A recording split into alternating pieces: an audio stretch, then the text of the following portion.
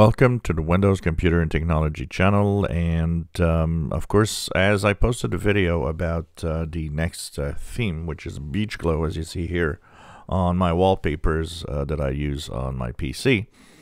Uh, and by the way, every time you see wallpapers that you like, they're always themes that come from the Microsoft Store. Um, but of course, these themes are pretty big because they have, you know, full high resolution pictures. And some of them, many of them are 4K pictures. So they can actually be quite heavy. And if you're a little um, light on space, well, maybe you want to have more space available. So all the themes that you install, you can actually right click on your start menu, go into the uh, settings app, and then go into personalization and themes.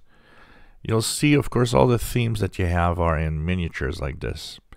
If you have some that you don't want because they take more space and you know that maybe you'll never use them again, simply right click on it, click delete, this will delete the uh, theme and its pictures and of course will make more space available to you.